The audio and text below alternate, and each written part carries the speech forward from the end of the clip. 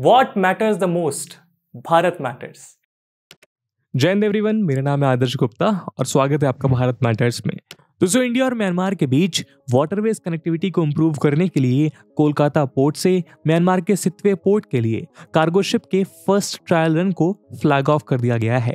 Union minister of state for ports shipping and waterways Shantanu Thakur ने fourth of मे को M line we ship को 1000 metric ton cement के 20,000 bags को लेकर रवाना किया। आपको बता दें कि सितवे पोर्ट को इंडिया की हेल्प से डेवलप किया गया है जो Kaladan multi modal transit project के का पार्ट है। म्यांमार के रखाइन स्टेट में लोकेटेड ये पोर्ट इंडिया के सिलीगुड़ी कॉरिडोर के लिए एक ऑल्टरनेटिव ट्रांसपोर्ट रूट प्रोवाइड करेगा जहाँ ये पोर्ट म्यांमार के थ्रू नॉर्थ ईस्टर्न स्टेट्स को कनेक्ट करने के लिए एक इंपॉर्टेंट रूट है। प्राइम मिनिस्टर नरेंद्र मोदी ने सितवे पोर्ट के ऑपरेशनलाइज होने पर अपनी खुशी ज़ाहिर करते हुए इसकी सराहना की है। दोस्तों, आज के हमारे इस वीडियो डिस्कशन में हम Kaladan multi modal transit transport project की चर्चा करेंगे, जहाँ हम इस प्रोजेक्ट को डिटेल में समझने का प्रयास करेंगे और जानेंगे कि आखिर नॉर्थ ईस्टर्न स्टेट्स के लिए इंडिया को क्यों एक ऑल्टरनेटिव रूट की ज़रूरत पड़ी। और हम ये भी जानेंगे कि कालादान प्रोजेक्ट के मेजर बेनिफिट्स कौन कौन से हैं। तो बिना किसी देरी के शुरू करते हैं अपने आज का डिस्कशन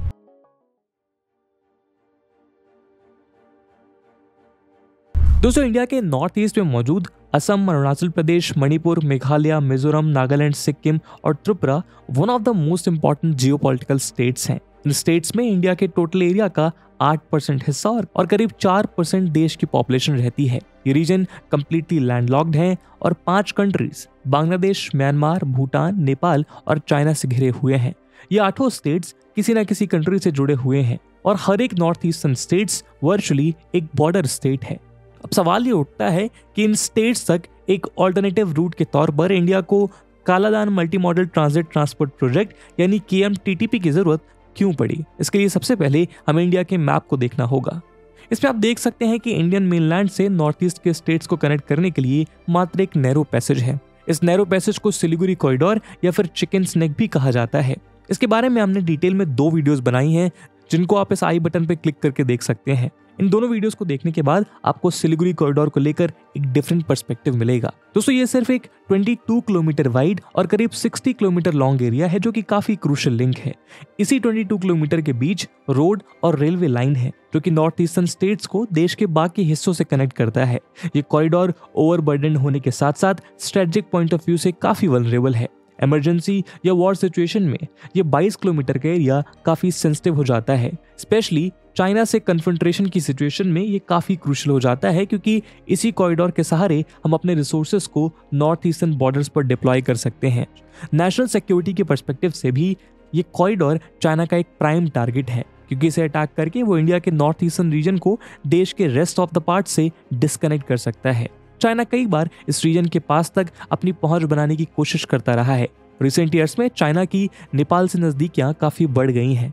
ऐसे में यदि वो सिलीगुड़ी कॉरिडोर से सटे नेपाल के रीजन में अपना मिलिट्री बेस बनाने के लिए नेपाल को राज़ी कर लेता है तो ये सिलीगुड़ी कॉरिडोर के लिए काफ़ी थ्रेटनिंग हो सकता है। वहीं 2017 में उसने डोकलाम पर भी कब्जा करने की कोशिश की थी। डोकलाम भूटान का पार्ट है। बावजूद इसके चाइना जगह को अपने कब्जे में लेकर यहाँ अपना बेस बनाना चाहता है ताकि वो यहाँ से इजिली सिलीगुड़ी कॉरिडोर पर नज़र रख सके। साथ ही यहाँ से वो इससे टारगेट भी कर सकता है, क्योंकि डोकलाम से सिलीगुड़ी कॉरिडोर करीब 30 किलोमीटर की दूरी पर है। यही वजह है कि इंडिया डोकलाम से चाइनीज़ आर्मी को खदेड़ने में भूटान के साथ खड़ा नज़र आया था। सिलीगुड़ी कॉरिडोर के इसी इंपॉर्टेंस की वजह से Indian army Assam rifles border security forces और वेस्ट बंगाल पुलिस के जवान यहाँ हमेशा पेट्रोल करते रहते हैं। स्ट्रेटेजिक पॉइंट ऑफ़ व्यू के अलावा सिलीगुड़ी कॉरिडोर पर ट्रैफ़िक की भी प्रॉब्लम काफ़ी ज़्यादा रहती है, जिसकी वजह से ट्रैवल और ट्रांसपोर्टेशन में डिलेज और डिसरप्शन आम बात हो गई है। यही वजह है कि गवर्नमेंट दूसरे रूट के थ्रू नॉर्थ ईस्टर्न स्टेट्स को कनेक्ट करने के लिए कई प्रोजेक्ट्स पर काम कर रही है। इनमें से एक इंपॉर्टेंट रूट है बांग्लादेश के थ्रू रेल लाइन मौजूदा वक्त में कोलकाता से बांग्लादेश की कैपिटल ढाका तक ट्रेन सर्विस अवेलेबल है और इस रूट पर मैत्री एक्सप्रेस रन करती है, जबकि इसके आगे बांग्लादेश के अखौड़ा से इंडिया के अगरतला के बीच रेल लाइन पर काम चल रहा है। Agartala Akhaura international railway connectivity project का 88 परसेंट काम कंप्लीट है और अगले पाँच से छह महीने में इसका काम पूरा हो जाने की उम्मीद है। यानी नेक्स्ट ईयर से कोलकाता से वाया बांग्लादेश त्रिपुरा के कैपिटल अगरतला तक बाई ट्रेन पहुँचा जा सकता है। हालाँकि ये rail route via Bangladesh north east के स्टेट्स को रेस्ट ऑफ़ द इंडिया से कनेक्ट करेगा। और नॉर्थ ईस्टर्न स्टेट से कनेक्टिविटी को बूस्ट करने की ही दिशा में इंडिया का मोस्ट एम्बिशियस प्रोजेक्ट है Kaladan multi modal transit transport project तो आइए इस प्रोजेक्ट को डिटेल में समझते हैं। दोस्तों Kaladan multi modal transit transport project Kolkata से म्यांमार और म्यांमार से मिजोरम तक का रूट है। इसमें सी रिवर और लैंड तीनों रास्ते शामिल हैं। यही वजह है कि इसे multi modal transit transport project कहा जा रहा है। कोलकाता पोर्ट से म्यांमार के सितवे पोर्ट तक बे ऑफ़ बंगाल के थ्रू बाई सी इससे आगे कालादान रिवर के थ्रू रूट और फिर म्यांमार से मिजोरम तक कनेक्टिंग रोड शामिल है। इस प्रोजेक्ट के चार कंपोनेंट्स हैं।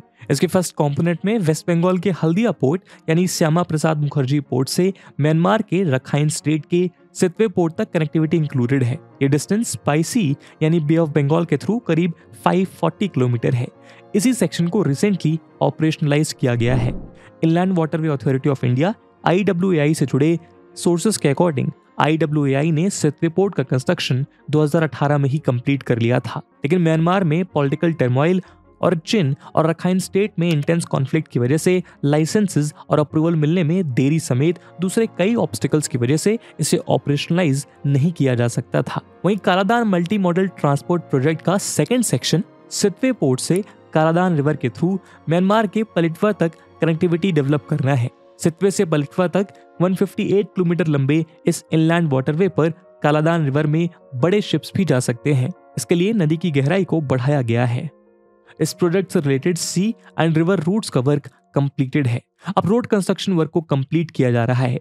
प्रोजेक्ट के थर्ड सेक्शन में पलिटवा इनलैंड जेटी से कलिटवा तक 60.8 किलोमीटर और कलिटवा से इंडो म्यांमार बॉर्डर के पास जोरनपुई तक 49.2 किलोमीटर रोड का कंस्ट्रक्शन किया जा रहा है। ये रोड फोर लेन की होगी, जिसमें ईच डायरेक्शन में दो लेन बनाई जाएँगी।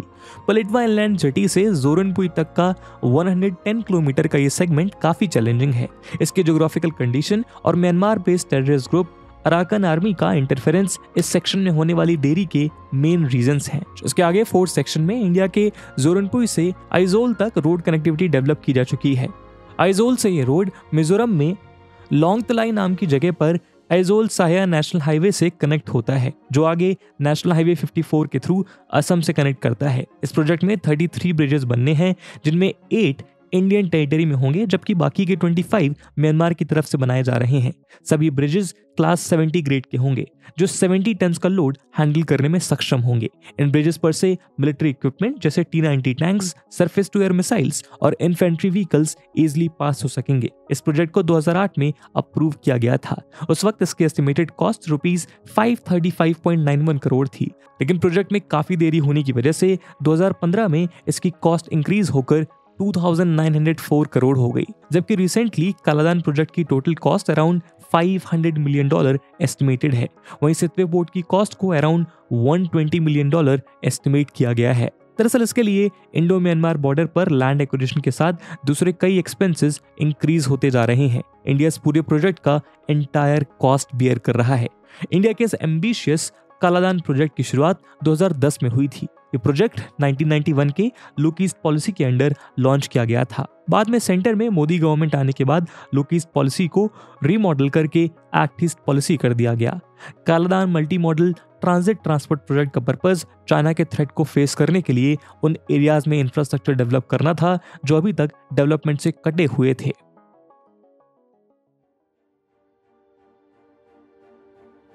दोस्तों, इस प्रोजेक्ट को 2010 में स्टार्ट किया गया था और इसके 2014 में कंप्लीट होने का टारगेट रखा गया था। लेकिन इस डेडलाइन के अंडर प्रोजेक्ट वर्क कंप्लीट नहीं हो सका। इसके बाद इसकी न्यू डेडलाइन 2022 रखी गई। लेकिन 2022 में भी इस प्रोजेक्ट का काम पूरा नहीं हुआ।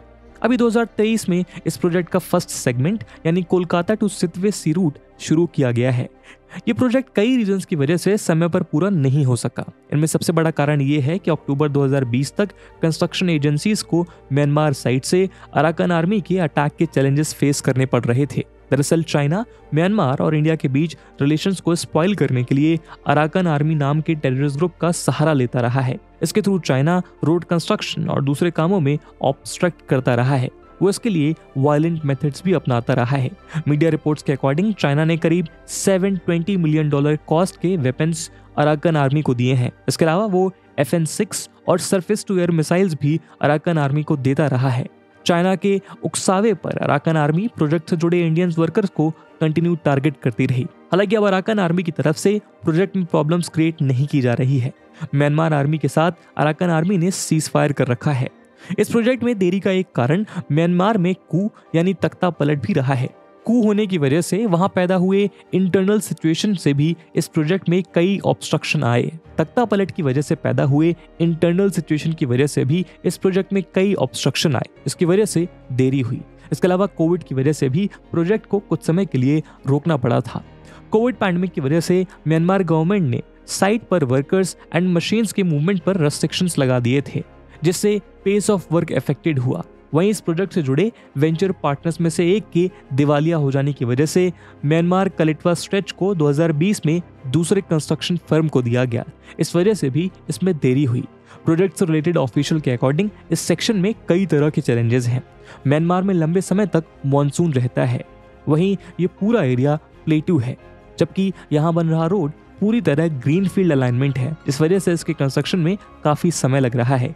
यहाँ वाटर और दूसरे रिसोर्सेज की भी काफ़ी कमी है। दोस्तों इन चैलेंजेस को जानने के बाद आइए जानते हैं कि इतनी सारी मेहनत आखिर हो क्यों रही है। इस प्रोजेक्ट के बेनिफिट्स क्या हैं। दोस्तों Kaladan multi modal transit transport project से इंडिया के साथ साथ म्यांमार को भी कई बेनिफिट्स होंगे। ये प्रोजेक्ट नॉर्थ ईस्ट स्टेट्स में इंफ्रास्ट्रक्चर डेवलपमेंट के साथ ही इमरजेंसी सिचुएशन में आर्मी को पहुँचाने के लिए एक ऑल्टरनेटिव रूट के रूप में काम आ सकता है।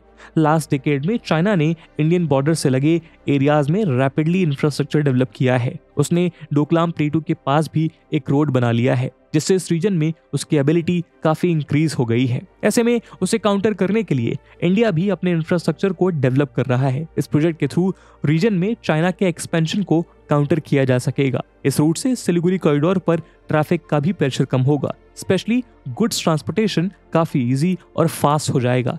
क्योंकि एक शिप में 1000 ट्रक के बराबर गुड्स का ट्रांसपोर्टेशन हो सकता है। वही नया रूट कोलकाता से मिजोरम तक जाने की कॉस्ट और टाइम दोनों को सिग्निफिकेंटली रिड्यूस करेगा। बताया जा रहा है कि इस रूट से कोलकाता से मिजोरम का डिस्टेंस थाउज़ेंड किलोमीटर से ज़्यादा रिड्यूस हो जाएगा।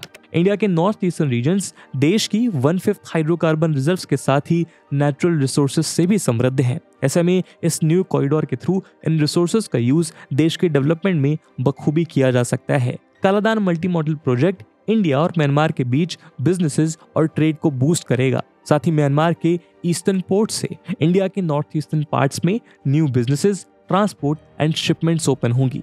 प्रोजेक्ट रीजन में कई इंडस्ट्रियल क्लस्टर्स के एमरजेंस के साथ ही नॉर्थ ईस्टर्न स्टेट्स में इकोनॉमिक डेवलपमेंट को भी बूस्ट मिलेगा। इंडिया म्यांमार के साथ 1643 किलोमीटर लॉन्ग बॉर्डर साझा करता है। जो अरुणाचल प्रदेश, नागालैंड, मणिपुर और मिजोरम से टच करता है। ऐसे में आने वाले समय में म्यांमार से नॉर्थ ईस्ट के बाकी स्टेट्स में भी कनेक्टिविटी डेवलप हो सकेगी और इवेंचुअली ये प्रोजेक्ट इंडिया का साउथ ईस्ट एशिया गेटवे की तरह काम करेगा। इसके शुरू होने से म्यांमार के रास्ते इंडिया बाकी के साउथ ईस्ट एशिया से भी कनेक्ट हो सकेगा, जिससे कि इन कंट्रीज़ से ट्रेड और बिजनेसेस को बढ़ावा मिलेगा। दोस्तों, Kaladan multi modal project India के one of the ambitious plans में से एक रहा है, जो नॉर्थ ईस्ट में चाइना की कॉन्स्परेसीज को ब्रेक करने के लिए काफ़ी कारगर साबित होने वाला है। इंडिया के लिए कालादान प्रोजेक्ट एक मल्टी मॉडल ट्रांजिट रूट देने वाला है। साथ ही ये मिजोरम के लिए गेटवे ऑफ़ ईस्ट का रूट ओपन करने वाला होगा। इस रूट के ओपन होने से नॉर्थ ईस्ट में इंडिया को एक और न्यू स्ट्रेटेजिक इंपॉर्टेंस वाला रास्ता मिलेगा, जिससे होकर हमारी आर्मी चाइना से टेंशन के केस में सभी मिलिट्री रिसोर्सेस को तेज़ी से डिप्लॉय कर सकेगी। साथ ही ये प्रोजेक्ट इंडिया की एक्ट ईस्ट पॉलिसी को मिजोरम के थ्रू नई डायमेंशन देगा। और इसी उम्मीद के साथ दोस्तों, आज के वीडियो को हम यही विराम देते हैं। इस प्रोजेक्ट को लेकर आपके क्या ओपिनियन है और वो कौन से बेनिफिट्स हैं जो इंडिया एंजॉय कर सकता है, या फिर आने वाले समय में उसको इस प्रोजेक्ट की वजह से क्या कुछ चैलेंजेस फेस करने पड़ सकते हैं कमेंट सेक्शन में ज़रूर बताइएगा। आज के लिए आपसे विदा लेते हैं। मिलेंगे अगले वीडियो में। तब तक के लिए जय हिंद, जय भारत।